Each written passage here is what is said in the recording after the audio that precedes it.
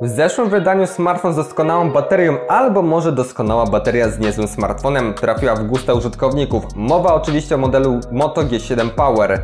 Kolejna odsłona Powera trafia w moje ręce. Mam na imię Bartek, a dzisiaj wspólnie sprawdzimy co potrafi Motorola Moto G8 Power i jaką baterią dysponuje. Bateria baterią, ale czy Motorola popracowała nad wykonaniem i designem? Po staremu mamy szkło na froncie. Prawdopodobnie jest to Gorilla Glass 3, ale oficjalnie nie znalazłem potwierdzenia na stronie producenta. Po drugiej stronie jest już plastik i to nie potrzebuje weryfikacji, bo czuć pod palcem z jakim materiałem mamy do czynienia. Jest on dobrej jakości, jest twardszy niż na przykład w Galaxy A51. Jak przyjrzycie się, to zauważycie drobne pręgi na korpusie. G8 Power otrzymał aluminiową ramkę z serii 6000, aczkolwiek tego chłodu aluminium tutaj nie ma. To, co jest jednak istotniejsze, to wymiary tego smartfona i jego waga. 197 gramów jest wynikiem wręcz identycznym co w poprzedniku. Ustalmy, że różnica kilku gramów jest niezauważalna. Urosła natomiast o 3 mm grubość, która obecnie wynosi 9,6 mm. Połączenie wagi i grubości powoduje, że G8 Power jest grubaskiem, do którego trzeba przywyknąć. Znalazła się tutaj powłoka hydrofobowa, także delikatne zachlapania nie będą straszne temu smartfonowi, ale nie mylcie tego z pełnym zanurzeniem w wodzie. Nie da się nie wbić Motorola szpileczki takiej małej za wygląd tego smartfona, bo to kolejny smartfon, który z tyłu wygląda dokładnie tak samo. Kolejną uszczypliwością, ale zasadną, będzie wytknięcie braku rozpoznawania twarzy jako formy autoryzacji odblokowania ekranu. Motorola tej technologii nigdy nie miała wielce dopracowanej, ale można było na ogół znaleźć tę opcję w ustawieniach. Tutaj tego nie ma. Jedynym zabezpieczeniem biometrycznym jest skaner odcisków palców usytuowany na pleckach. Ma on oczywiście logo Motorola. Jest położony we właściwym miejscu, smartfon reaguje szybko na nasz palec, także tutaj bez zastrzeżeń. Na froncie przykuwać wzrok ma natomiast ekran, a w nim aparat do selfie. To rozwiązanie znaliśmy już na przykład z Motorola One Vision, tylko że tym razem oko aparatu jest dużo mniejsze, co odnotowuje na plus. Zabieg ten wyszczuplił wizualnie urządzenie, bo i ramki mamy mniejsze, co jak na ten segment jest godne pochwalenia. Nie obyło się bez mankamentów. Ewidentnie okolice aparatu, szczególnie lewa strona ekranu jest ciemniejsza. Mamy taką nieprzyjemną szarą poświatek, która może osoby bardziej wrażliwe w jakiś sposób irytować. Nie jest to bardzo widoczne, ale nie jest z drugiej strony problemem to dostrzec. Sam ekran do tego nie lubi się z okularami polaryzacyjnymi, bo spoglądając przez nie doświadczymy prawie całkowitego wygaszenia jasności ekranu. Skoro o nim mówimy, to warto żebyście wiedzieli, że ma przekoną 6,4 cala i rozdzielczość Full HD+, także piksele namnożyły się względem poprzedniej generacji, bo tam mieliśmy tylko HD+. Zmiana oczywiście bardzo dobra, zobaczymy czy odbije się negatywnie na czasie pracy smartfona na jednym ładowaniu. Technologia ekranu to LCD IPS, Motorola popracowała nad oddaniem czerni które są teraz dużo głębsze. Nie ucierpiało na tym pozostałe kolory, także widać mały progres względem innych średniaków. Niestety kąty widzenia po staremu są przeciętne.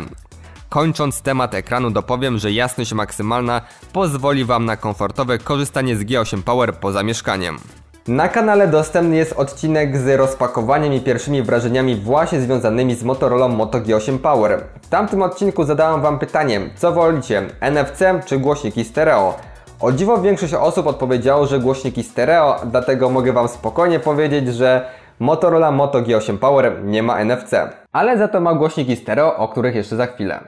Szkoda, że nie zapłacimy tym smartfonem. Nie porwała mnie jakość głośnika do rozmów, ale za to korzystanie z internetu przebiega komfortowo, ale za to nie ma wsparcia dla częstotliwości 5 GHz, szczególnie, że Motorola Moto G8 Plus może takim standardem Wi-Fi pochwalić się.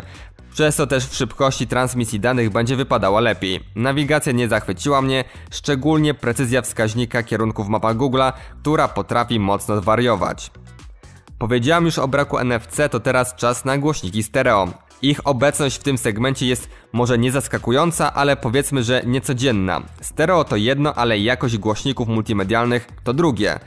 Są one bardzo donośne i na maksymalnej głośności grają czysto. Jedna membrana jest umieszczona w okolicach dolnej krawędzi, druga tam gdzie głośnik do rozmów. Tym bardziej mnie dziwi średnia jakość rozmów, bo muzyka wydobywająca się z Moto G8 Power jest świetna. Na słuchawkach, które podepniemy przez jacka 3,5 mm uzyskujemy bardzo bogatą scenę z przyjemnymi basami. Mamy do tego różne profile dźwiękowe, które dodatkowo możemy edytować.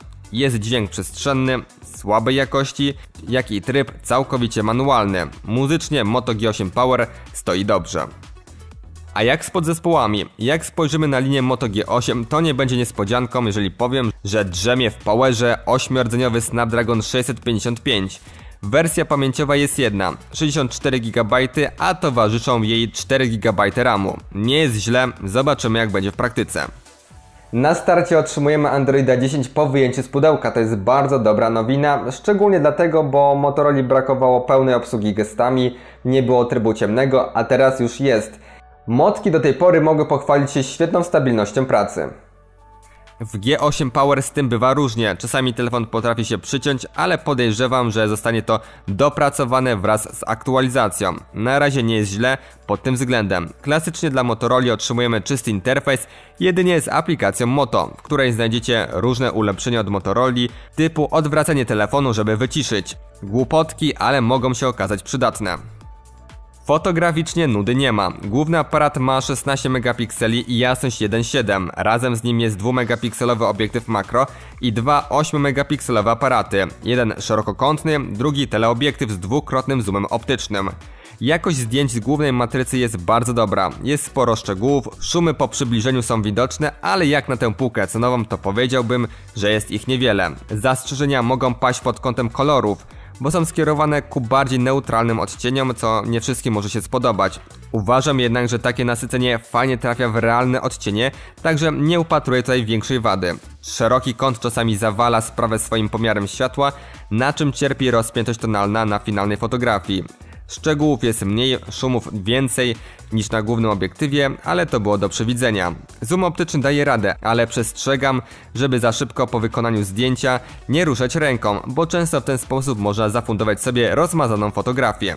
Na zdjęciach nocnych jest w dużym stopniu mleko, brakuje ostrości, ale jak na ten segment nie ma tragedii. Szkoda, że nie posiadamy żadnego trybu do zdjęć w słabym oświetleniu. Selfie zrobimy aparatem o rozdzielczości 16 megapikseli. Dostarcza on dużo informacji, wycinanie tła jest na czwórkę z plusem. Pamiętajcie, że ze względu na umiejscowienie aparatu nasze autoportrety mogą być lekko przesunięte w prawą stronę. Na koniec oczywiście bateria. Pojemność 5000 mAh nie zmalała ani nie urosła względem poprzednika. Po staremu jest też szybkie ładowanie, 15W. Najważniejsze jednak ile realnie ten telefon wytrzymuje na jednym ładowaniu. Osiągałem okolice 9 do 10 godzin pracy na ekranie w trybie mieszanym, a to z kolei przykłada się na około 3 dni pracy, które w sumie deklaruje producent. Oczywiście to zależy ile korzystacie z urządzenia w trakcie dnia, ale te 2 do 2,5 dnia powinniście bez większych problemów uzyskać. Motorola Moto G8 Power, tak jak każdy smartfon, ma swoje mocne strony, trochę też słabsze. No i oczywiście wady. Niemniej, biorąc pod uwagę cenę tego smartfona i możliwości, które otrzymujemy, to jestem skłonny powiedzieć, że jest to smartfon z potencjałem na bestseller w pierwszym czy też drugim kwartale tego roku. Jak będzie? Nie wiem, ale na pewno w tym momencie mogę Wam polecić testowany dzisiaj model. To wszystko z mojej strony. Jeżeli macie jakiekolwiek pytania, zadawajcie je w komentarzu. Ja się z Wami żegnam. Cześć i do zobaczenia.